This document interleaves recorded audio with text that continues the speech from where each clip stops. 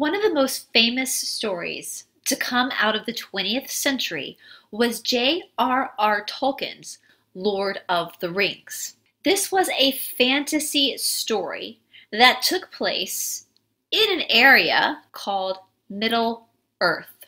In modern times, we see the idea of Middle Earth as purely fantasy. After all, science has taught us that there is no such thing as Middle Earth. However, the deeper we move into this Great Awakening, the more we realize that science is not necessarily true. But before we go any further, you know what to do. Please hit that subscribe button and give us a like. Also, a very, very, very special thank you to all of our patrons. If it were not for you, we would have a much harder time getting this channel up and running. So thank you. If you would like to join our Patreon program, there is a link down in the description box below. Welcome to Esoteric Atlanta. My name is Bryce, and today on Mystery Monday, we are going to be covering part one of Hollow Earth.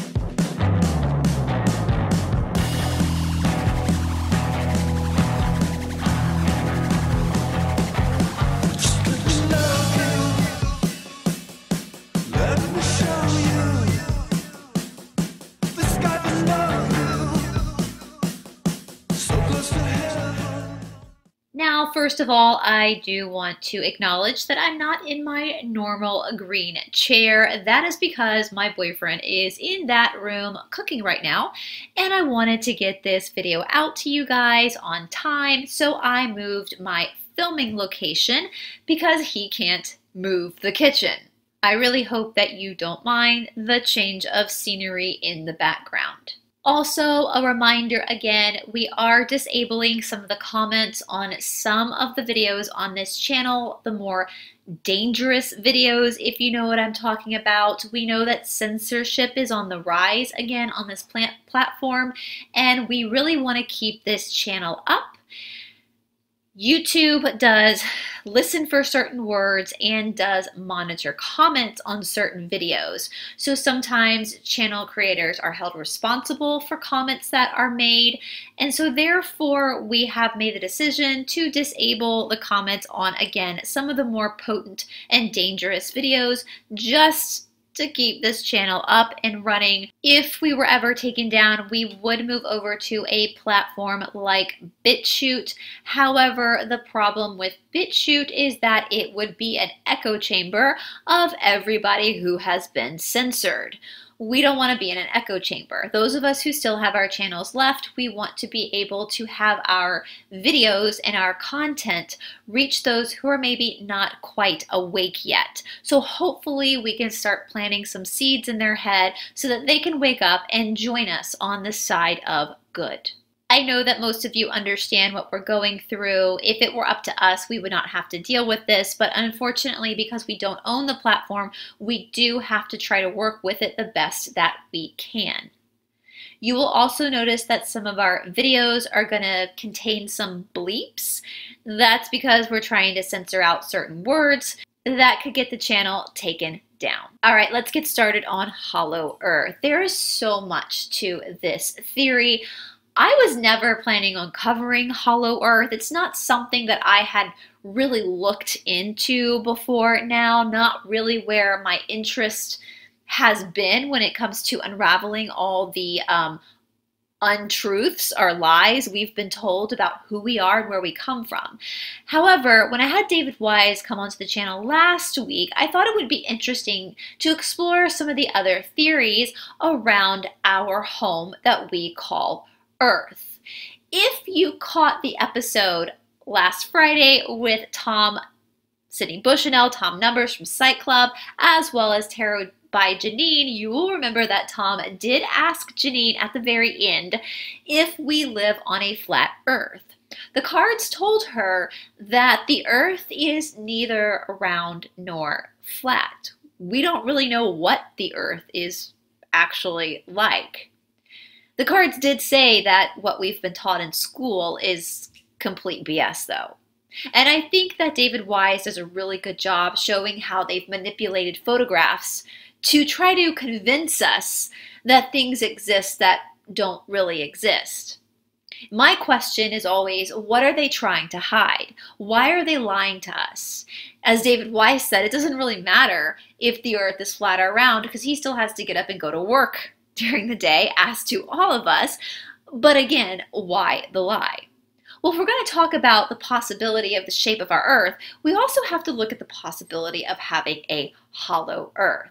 And this hollow earth is not a new conspiracy. In fact, this hollow earth has been around since the beginning of time. Most ancient cultures carry the folklore of a hollow earth or beings living under the ground, including the Greek culture, the Nordic culture, the Indian culture, the Native American culture, the Scandinavian culture, and the Tibetan culture. Now, in part two of this series, we will go deeper into India and Tibet and some of their folklore regarding a hollow earth.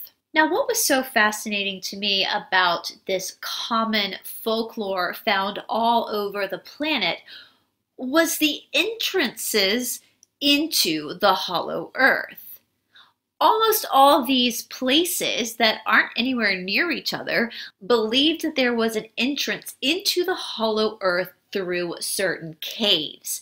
In fact, in Mesopotamia, an real ancient culture, they had these stories of this man who walked through these caves down into the hollow earth and came out the other side. I hope that this gives you some idea of how long this theory, this folklore has been in our culture.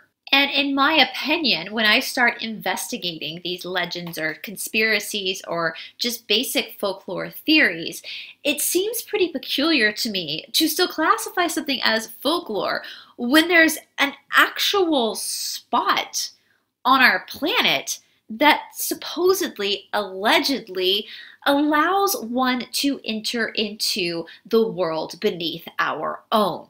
Now, ironically, as I say sarcastically, ironically, a lot of these locations that our ancient ancestors believed were entrances into the hollow earth have now been marked off by our governments.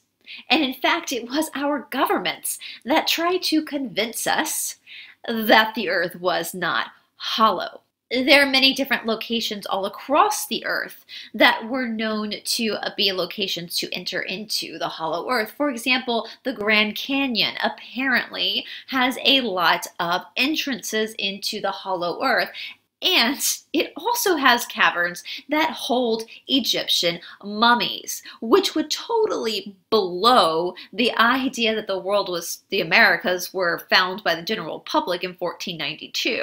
But no, the government has blocked off these taverns that hold these mummies and allegedly has also blocked off the entrance points to what our ancestors called the Hollow Earth. There is a cave in the southernmost point of Greece that legend states is also an entrance into the hollow earth. They also believe that it was protected by the gods. In North America, at the northmost point of the Missouri River, there is a cave called Mammoth Cave that also is allegedly an entrance into the hollow earth. And in Ireland, there are two locations that legend has it contains entrances into the hollow earth. One is called the Gate of Hell, and people throughout Ireland have spoken of stories of entities and beings that are not from our realm coming up out of the ground at night. There is also a location in County Donegal, hope I said that right, where many priests saints, and medieval knights would go to visit what they called purgatory. The people of Ireland also allegedly claimed back back back long before Christianity came to Ireland that the beings that lived under the earth came up from under the earth to teach them how to be druids. Now, if you follow along on the Dark Outpost, we did a deep dive into the druids and the amount of human sacrificing that went on at some of these locations. German myth also has that that there are certain locations in Germany that were entrances into Middle Earth. And who could ever forget Dante's Inferno, a book written in the 14th century that talked about a hollow earth. But by the 18th century, the royal government of the United Kingdom decided once and for all they were going to put out a narrative of what is in Middle Earth. Now, if a hollow earth does actually exist and there are beings that live in the hollow earth, it would make sense to me that the government, especially the royal government of the United Kingdom, would want to keep this a secret. In fact, there's a lot that they have kept a secret. So in 1774, they put together what is now known as the Schiehallion experiment.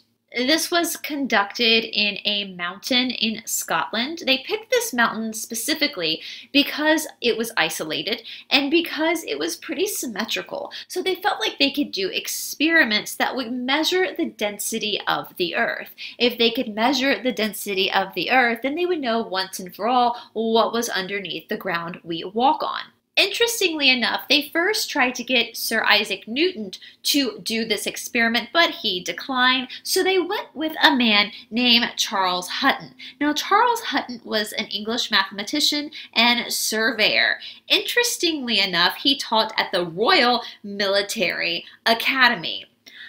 I don't know about you guys and on your personal journey when it comes to waking up, but the main thing I know for sure is that the government is not our friend. The government is rarely, rarely honest with us. And if the government is behind any type of experiment, I like to take it with a grain of salt. And in fact, most of the experiments run by the government, I tend to believe whatever they figure out, it's probably the opposite. Even though this government-funded experiment in 1774 proved once and for all that there was nothing underneath the ground but dirt, people around the world still didn't believe them. In fact, a man named John Cleves Symmes Jr. believed the earth was hollow. In 1818, he wrote, The opening to the inner of the earth was through the poles. This was called the hollow earth theory.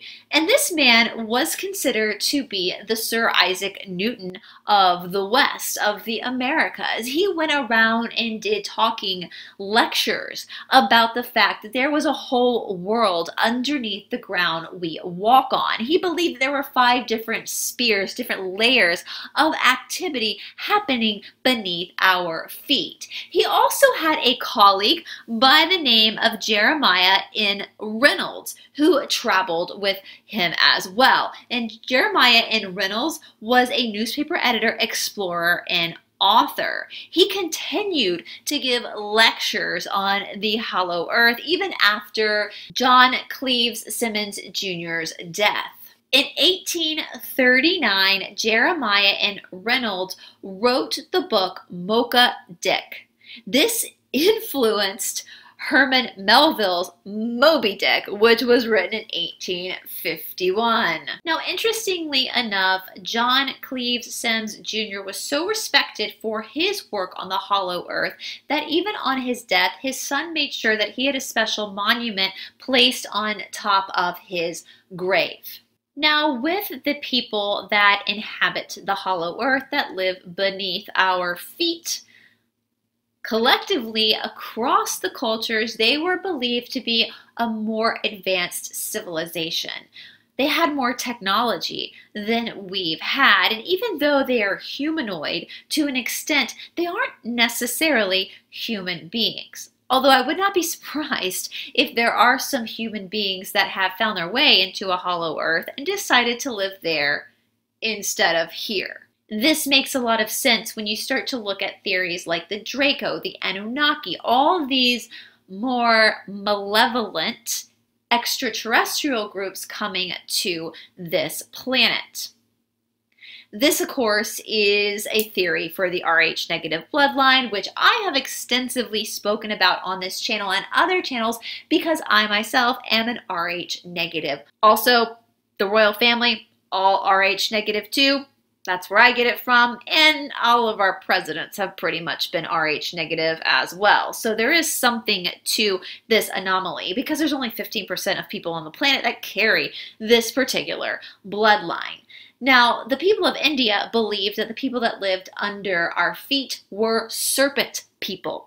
Interesting, right? When we see stories like the Garden of Eden, where the serpent convinced Eve to eat the apple, or we talk about this idea of lizard people, as Lady Diana, Princess Diana, called her in laws the lizards. We hear about reptilians all the time, and we know that there are military tunnels under the earth and that there are a lot of underground military bases where there have been battles taking place. We know this. This is not conspiracy anymore. This is like conspiracy fact. So before you go discrediting Hollow Earth because of this government funded experiment that happened in the 18th century, I would look into some of this stuff. There are people that call the group that live under the earth the old ones. Apparently, they were here long before humans were on this earth and they retreated underground to live. People say the old ones are extremely long limbed and sometimes will peep their head up just to let those in the know know when they're screwing up and need to change something on the earth above them. Now, in 1945, a very interesting story came out in the Amazing Stories magazine. This was called The Shaver Mystery, and this was regarding a man named Richard Shaver. He claimed that he had been a guest invited to come and visit this underground world. Now, many people thought that Richard Shaver was a little bit uh, you know, had a had a few screws loose. However, many people do believe his account of what happened to be extremely authentic. He said that a group of people called the Elder Race, or the Titans, first came to this planet long before human beings. They decided that they were going to make this planet home. Well, unfortunately, the sun exposure on our planet was not good for them, and they started aging faster, and therefore their lifespan was cut short. So they decided to go underground to live so that they didn't have to deal with the elements of the sun. Well, over time, this group of titans decided that they were no longer going to inhabit the earth at all, and they left. However, when they left, they left very advanced cities under the ground that then attracted other beings to come and live there as well. Interestingly enough, Richard Shaver spoke about a mutant group, a group of mutated entities with possible human beings. And this might sound pretty silly, but we're kind of learning a little bit about this when it comes to the old um, Epstein Island. Now, another interesting group of people that believed in a hollow earth were the Koreshian Unity. Who were the Koreshian Unity? Well, for lack of a better word, they were a cult. However, most cults tend to end in a massacre in a very dramatic way, the Koreshian unity just simply kind of died off. There was no dramatic end to their commune. But who were the Koreshian unity? They were started by a man named Dr. Cyrus Teed. Dr. Cyrus Teed lived in New York. He liked to play with electricity. He lived in the latter part of the 19th century, dying in the early part of the 20th century. Well, one day, Dr. Cyrus Teed was experimenting with some electricity, used a little too much electricity, and ended up having an accident where he was knocked out for a while. While he was knocked out, he claimed to see a vision of God where God revealed some things to him about the truth of the world. When he regained consciousness again, he decided to start going by the name Koresh. Apparently, Koresh is the Hebrew word for Cyrus, which was his original name. This name change happened around 1869. In 1870, he started the Koreshian unity or Koreshanity, where it was the base of Christianity with some basically fundamental differences in the doctrine. He had built some communes in New York as well as Chicago and San Francisco, but in 1894 he decided to purchase some land in the southern part of Florida. This is where he set up his final commune in Estero, Florida. This is now a historic site that you can go and visit.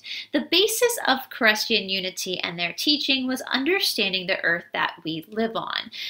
You see, Dr. Cyrus Teed, or at this point, Koresh, taught people that we don't live on an earth, we live inside of it. In fact, he believed that we ourselves were inside a hollow earth.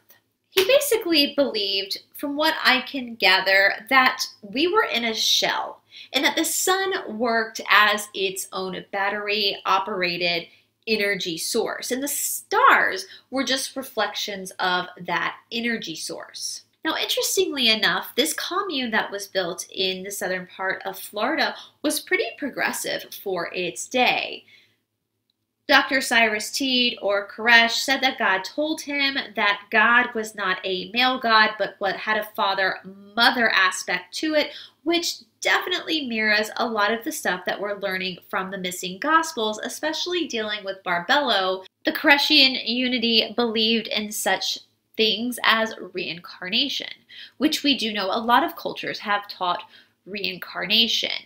Even Jesus taught reincarnation, but that's been omitted from the Bible and the Christian faith. Why teach reincarnation when you can just scare the shit out of people that they're going to go to hell and therefore manipulate them with power? He also taught that we were all immortal, that we don't die. These are things two things that I definitely believe in. I definitely believe in this idea of reincarnation, and I definitely believe that human beings don't ever die, that we are actually immortal beings. Our bodies die, but our souls don't. They also taught such practices as celibacy. This is very common in a lot of spiritual worlds as well. And in fact, deeper into the Koreshian unity, there was one group of people that procreated, but all they did was procreate. There wasn't like a romance aspect to it. And this might be part of the reason why the cult has died out, is they didn't have a lot of people to carry on the cult. They believed in the power of alchemy, and they also believed that Cyrus Teed was the second coming, was the Messiah. Now, interestingly enough, in an interview that I listened to with one of the descendants of one of the people in this cult, they never really believed like Messiah Messiah. They just believed he was a leader and a teacher. However, when he died, they did expect his body to rise up again, which it did not. Now, something I found super interesting about the Koreshian Unity as well is that they were very much into higher education. So here this group is really convinced that we lived in a hollow earth, that we were the hollow earth, but yet they really pushed education. That made me scratch my head a little bit because you see a lot of times in the mainstream narrative, people who believe in conspiracies are considered to be not that intelligent. However, I think that the real intelligent people are the ones that question the mainstream narrative. And it's interesting to me that this doctor, who had all these ideas of of equality between men and women, of, of mother, father, God, of reincarnation, of of immortality of our soul also acknowledge that there could be, we could be, we are on a hollow earth. Just something interesting to know going into part two. Now, when we go into part two, we are going to take a deeper look at some of the folklore involving Hollow Earth. In my opinion, a lot of the folklore is where we're going to find a lot of truth. These are stories passed on from generation to generation to generation, almost as warnings. However, if you would like for me to do a separate video that's also a deep dive into the Koreshian unity, just let me know down in the comment section below and I will be glad to do that for you. I had no idea this cult existed until I started studying Hollow Earth.